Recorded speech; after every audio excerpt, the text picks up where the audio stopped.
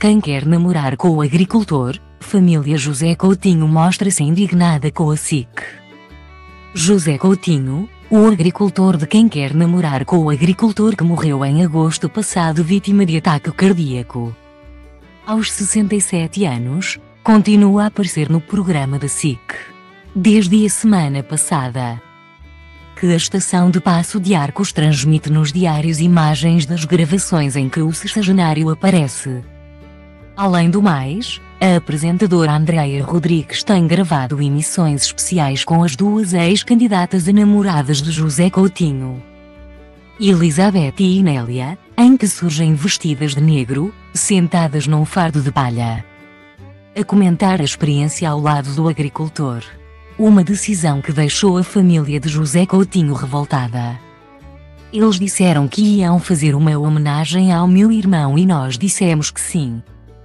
Que estava bem, e que autorizávamos. Só que o Daniel disse-nos que não iam passar imagens todos os dias e nas últimas semanas passaram todos os dias. Começou por lamentar Paula Coutinho, irmã do agricultor, à revista TV Guia. Ninguém falou conosco. Não vejo, não sei nem quero saber. Não quero ver o meu irmão na televisão. Sei que ele está morto e enterrado. Não consigo ver. Faz-me impressão, disse. A irmã de José Coutinho lamenta a postura adotada pela SIC de não respeitarem a dor da família. Sei, porque me disseram que a semana passada passaram todos os dias. Eu não vejo.